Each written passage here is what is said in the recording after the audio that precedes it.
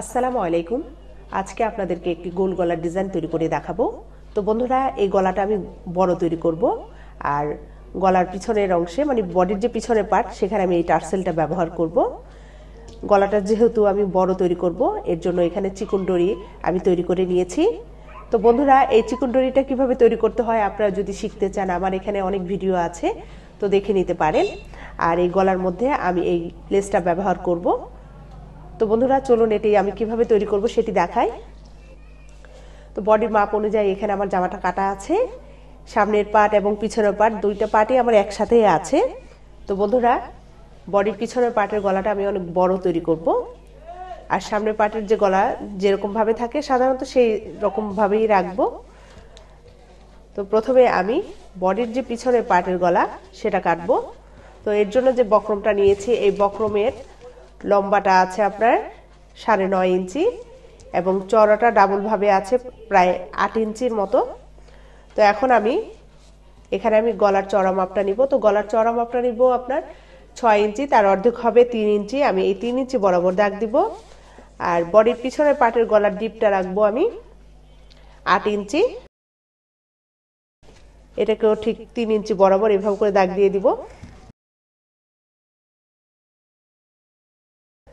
এটাকে এভাবে করে দাগ দিয়ে দিব। এখন আমি এই গলাটা গোল তৈরি করব। তো এখান থেকে জাস্ট গোল একটা রাউন্ড শেপ দিয়ে দিব। তাহলেই হবে। আর সাইডে এক ইঞ্চির মতো এই বক্রমটা চড়া রাখব। তো বন্ধুরা, গলার মাপ অনুযায়ী এখানে দাগ দেওয়া হয়ে গেছে। এবার আমি এই দাগ অনুযায়ী বক্রমটা কেটে ফেলব।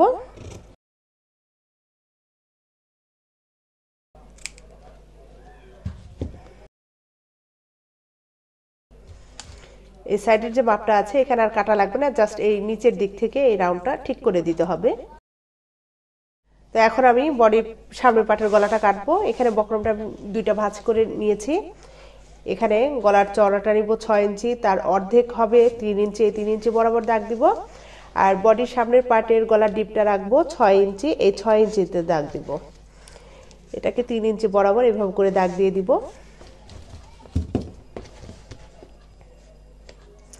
উপরের এই দাগের সাথে মিলিয়ে দিব। আর বডির সামনের পাটের গলাটাও আমি গোলই তৈরি করব।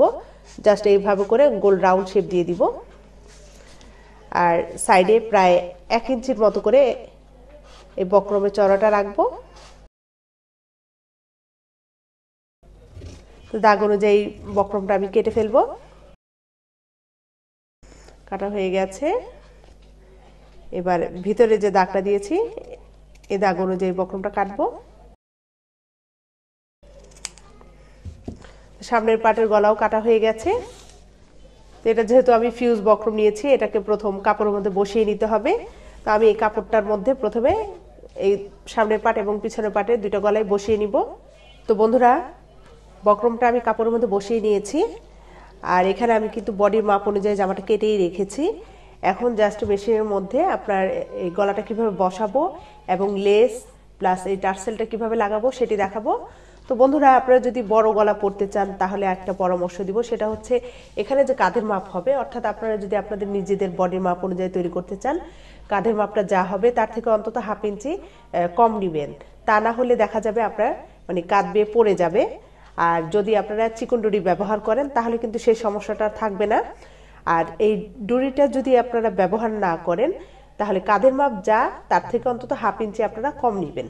তাহলে আর আপনাদের কাঁধ বেয়ে পড়বে না। তো চলুন বন্ধুরা, এটা আমি কীভাবে তৈরি করব সেটি দেখাই। তো এখন আমি সাইডের যে কাপড়টা আছে, এটা ভেঙে তারপর সেলাইটা করব। আর বাড়তি যে কাপড়টা ছিল, আমি কিন্তু কেটে ফেলেছি।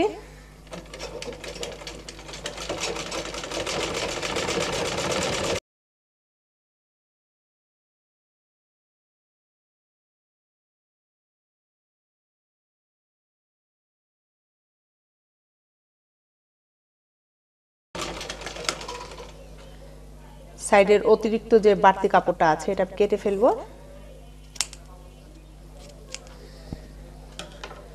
এরপর গলার এই কাপড়টাকে এই যে এইভাবে করে দুটো ভাঁজ করে নিব।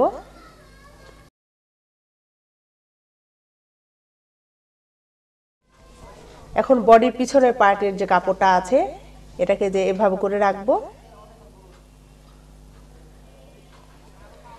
এরপর এখানে যে যে মাছ বরাবর যে ভাজ করেছি, এখানে একটা চক দিয়ে দাগ দিয়ে নিব এবং এখানেও একটা দাগ দিয়ে নিব। আর এখানে কাপড়টা ভাজ করাই আছে। জাস্ট এই বরাবর এই যে এভাবে করে রাখব। তো প্রথমে আমি এই মাছ বরাবর এই কাপড়টাকে আটকিয়ে নিব।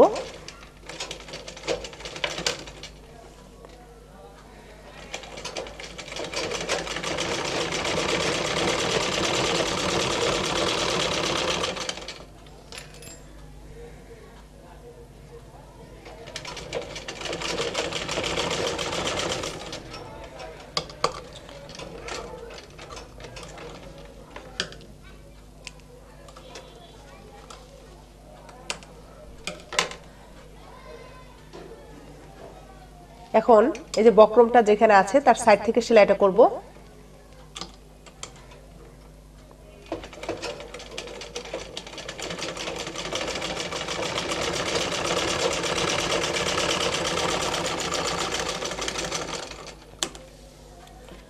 তো সেলাই করা হয়ে গেছে। এখন যেখানে আমি সেলাইটা করেছি, তার সাইডে হাফ ইঞ্চি পরিমাপ কাপড় রেখে বাড়তি যে কাপড়টা আছে, এটা আমি কেটে ফেলব।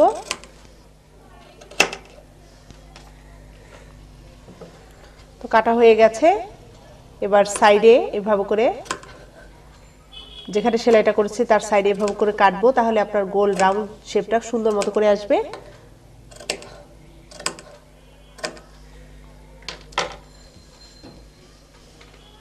আর বন্ধুরা বডি পিছনের পার্টে আমি টার্সেল ব্যবহার করব।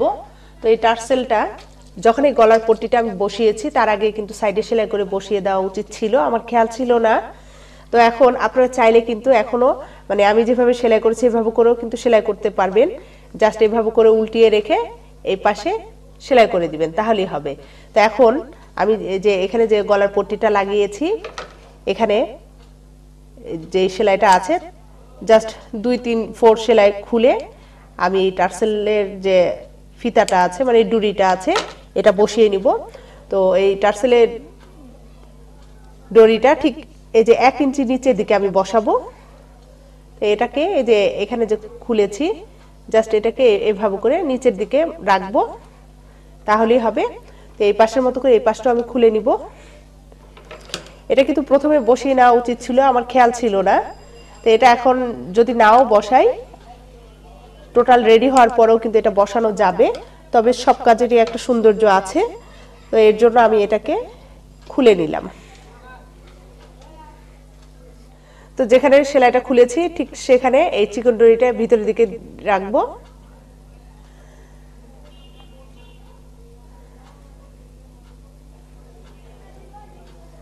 যে এভাবে করে, তো দুই পাশে এভাবে করে এক ইঞ্চি নিচের দিকে আমি চিকন ডরিটা রেখে তারপর সেলাই করে দিব।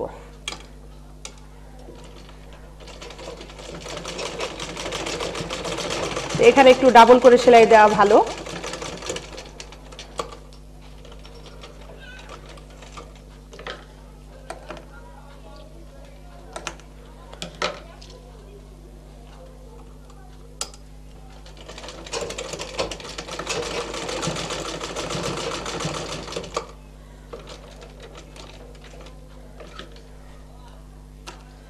সেলাই করা হয়ে গেছে।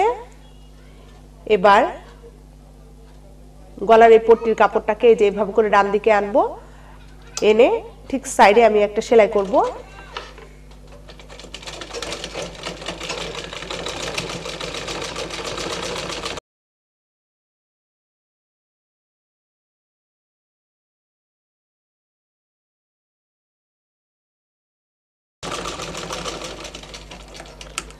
তো সেলাই করা হয়ে গেছে। পিছনের পাটটা কিন্তু এভাবে করে থাকবে। জাস্ট এই চিকন ডরিটা এই দুইটা মিলে তারপরে গিট হয়ে বসবে। তো বন্ধুরা, বডির পিছনে পাটে যেভাবে আমি এই গলার পট্টিটা লাগিয়েছি, সামনের পাটও সেম একই রকম ভাবে লাগিয়ে নিব। তো সেলাই করা হয়ে গেছে। এখন আমি গলার এই পট্টিটাকে এভাবে করে পিছনের দিকে রাখব। এবং বডির সামনের পার্টের দিকে এই মেশিনের মাধ্যমে একটা সেলাই করে নিব। এই সেলাইটা আমি পরে খুলে ফেলব। যেহেতু আমি এখানে মানে লেস ব্যবহার করব, তার জন্য এটা আমি সেলাই করে নিচ্ছি।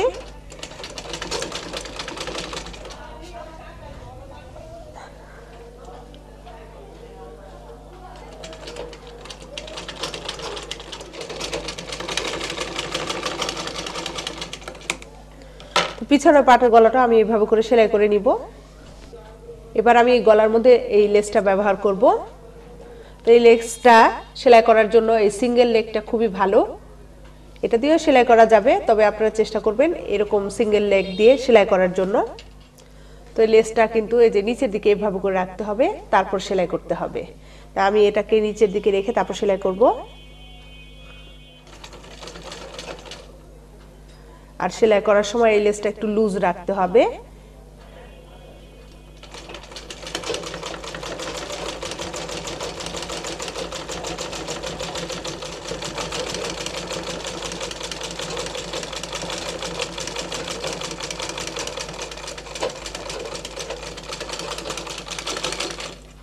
তো সামনের পাটের গলার মধ্যে লেস লাগানো হয়ে গেছে।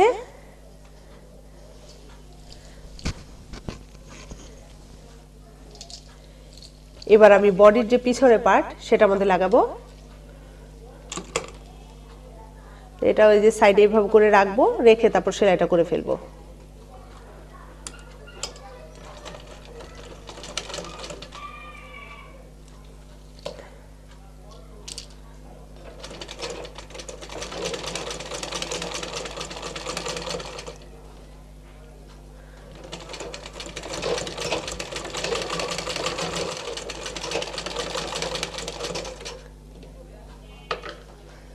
মাপ অনুযায়ী রেখে বাড়তি যে লেসটা আছে, সেটা কেটে ফেলব।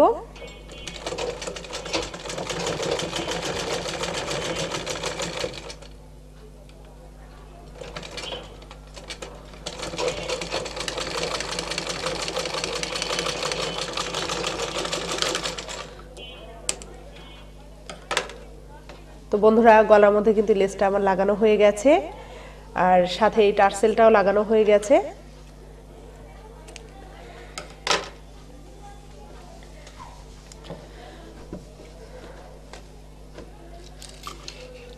এটা কিন্তু বডির পিছনে পাটে থাকবে। তো বন্ধুরা, এইভাবে করে কিন্তু আপনারা লেস দিয়ে এবং টার্সেল ব্যবহার করে জামা তৈরি করতে পারেন। দেখতে কিন্তু খুবই ভালো লাগে। এবার আমি কাঁধের জয়েন্টটা দিব।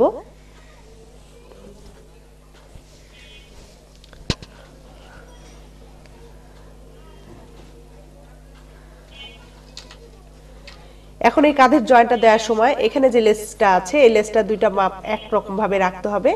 আমরা সাধারণত যখন সেলাইটা করি কাঁধের সাইডে আপনার মাপটা সমান রেখে তখন সেলাই করতাম। এখন কিন্তু সেভাবে হবে না। এখন এই পাশটা আপনার ঠিক রেখে তারপর সেলাইটা করতে হবে।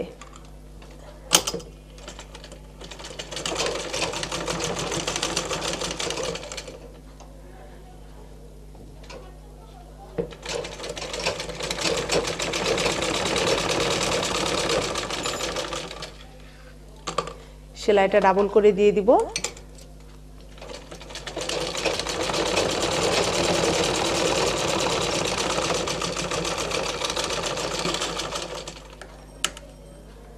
বাট সুতাগুলো কেটে দিতে হবে।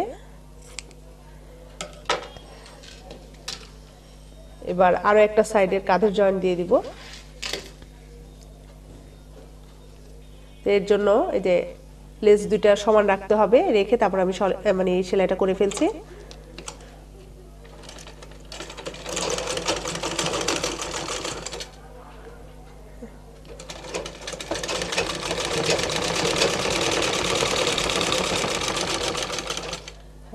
সেলাইটা ডাবল করে দিয়ে দিব।